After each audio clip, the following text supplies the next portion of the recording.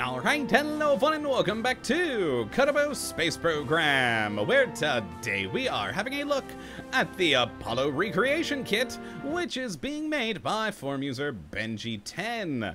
And what this glorious little piece of work looks to add into the game is well, probably not what you were expecting with a name like Apollo Recreation Kit, which one would assume would give you rocket parts or lander parts, but no, no, no. This gives you everything you need to fake the moon landing, including film equipment and stage parts. And that is just wonderfully hilarious. You too can make your own crackpot wackadoodle conspiracy theories now here in Kerbal Space Program. I love it. It's just so strange. So let's jump into the vehicle assembly building and have a look at what we do get here.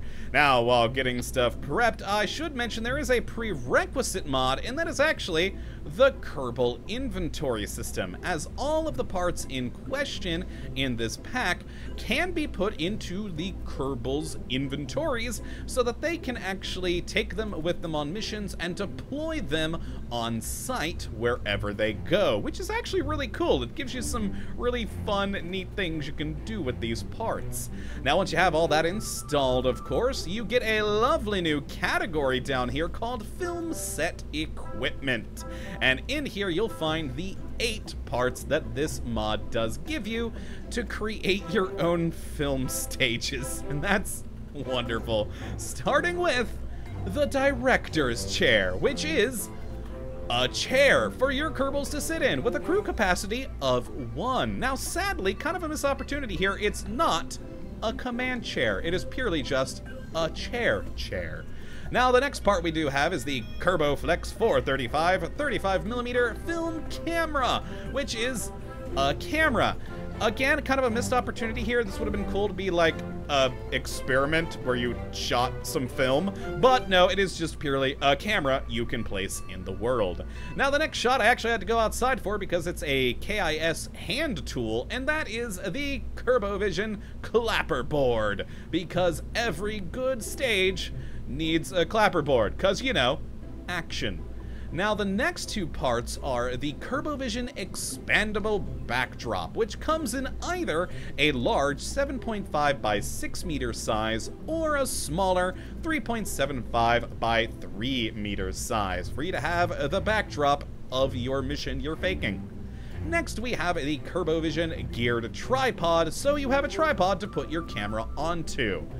Then we have the Kerbovision M12 HMI light rig, which is an actual functioning light, which is pretty cool because you can set it up to light up your shot however you need.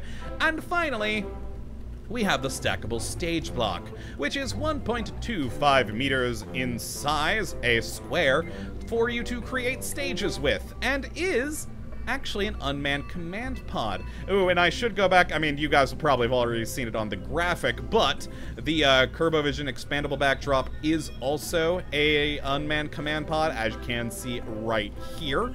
Uh, but yes, let's actually grab a couple of these stage blocks. And as you can see, it is a small part. Like I didn't mention, it is 1.25 meters in size and has attachment points on every side of it so you can build your stage however large or small you need for your particular shot. And what makes it even better, it comes in three texture varieties of either this standard wood, we then also have a moon surface, and finally a black surface for you to choose from so you can get just the right floor for the shot you're trying to go for. And that's I just like it. It's, it's neat that you have those things.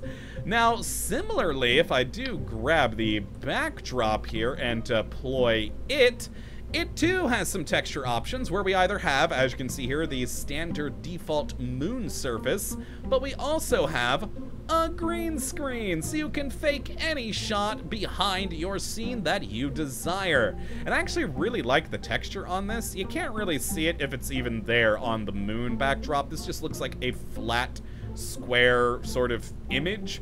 But on the green screen, there's actually like the ruffles in the fabric, which I really like. It's a little detail that might be hard to see on YouTube with compression, but is there and makes it look a little bit more realistic and good fun times. But also has a pretty good retract and deploy animation with these sides popping out and then extending upward. A very fun indeed. Now, uh, as for other texture options, if we actually bring out a couple of director's chairs, this too has some options for you to play with. The default is just a, a black chair, neither really for a director or anyone else, just a chair. But you can also switch it to have director in lettering on the back, or uh, talent. There we go. I almost got myself confused there for a moment. But yes, we have the just plain chair for anyone to use, a director chair for only the director, and one for your talented actors. That's that's just neat. And again, these are all Kerbal inventory items, which you can put in your inventory and plop down wherever you need, which is pretty cool. Let's also grab ourselves the tripod and the camera, which you can see does have a nice attachment point there for you to securely pop it on. And the light fixture is pretty good looking. I really do like the whole modeling and texturing situation there, and is a functioning light. Now, sadly, you can't change the color on it. You're just to have the one. That would have been cool to be able to change the color there to set up, like, different moods for the shots you're trying to go for. But still, hey, it's nice to have some extra light so that, you know, the film's not underexposed. Wonderful. Now, I I really love these parts. It's such a weird mod that has no real practical purpose. Like I actually said earlier going through these parts, I actually really would have loved to see like the camera have like a science experiment of you taking film or the chair being a uh, command seat rather than just a chair chair. But even on their own as just pure props, they offer a lot of fun things you can do with it just to play around and mess around in Kerbal Space Program. And if you're someone who likes making machinima style things in the game, these are some amazing props for you to use. And even if you're just, you know, a normal game player and not making machinima, who wouldn't love taking the stuff to Duna or some other planet to shoot a weird little film just cause you can? It's hilarious. Now let's actually head out to the launch pad where I do have a small stage set up so you can see what you can sort of do with the whole situation and also talk about a few additional features that we do have, which is lovely. But uh, yes, we have Jebediah, of course, in the chair over here. I forgot to label it as the director, but clearly Jebediah is uh, the best director, so he goes there. And we got Bill over here on the camera. He also does have the clapperboard in hand, as you can see right there. And uh, yeah, it's just a lovely little scene. Now, one thing to make note of while you're controlling your Kerbals, the only interaction you can actually do with all of these parts is the usual uh, Kerbal inventory system stuff. So you can do things like turn on the lights, you can actually uh, release the camera from the tripod, so you can then pick it up and pop it back in your inventory. But you can actually still change things like the backdrops, the chairs, and even the stage if you go back into the ship itself because the ship, remember, is an unmanned command pod, and you can then actually control things like changing up the uh, backdrop of the uh, backdrop. There we go. Switch that to the green screen. You can select the surface texture for the scene there, and can even go and change uh, the chair so that now it properly has director. But yeah, when you're out there in or on one of the Kerbals controlling them, uh, you cannot have that same control. I'm trying to click the chair here, and you just don't get it.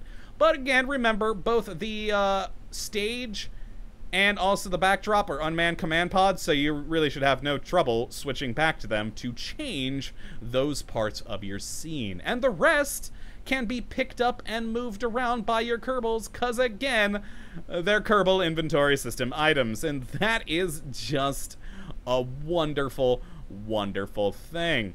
So yeah, that's really all there is to talk about with this mod. Not a whole lot to go over, but just some really fun things. And I, I really have had a lot of fun messing around with this. And there's just so much weird potential with this whole setup.